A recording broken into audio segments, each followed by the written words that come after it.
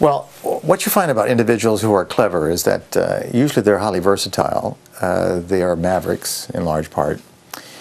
Uh, and the modern university system is basically glorified high schools. Now, that's not to insult my colleagues, but it's, it's the fact, because spoon feeding is considered to be the norm. Uh, and even our testing techniques basically have them parrot back what you've just said.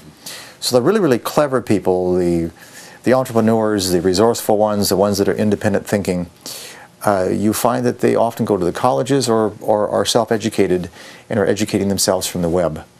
And that, I think, as long as the web is not put under the scrutiny, sadly, uh, that is now being focused upon, uh, will probably be the only place where we really truly have a democracy taking place.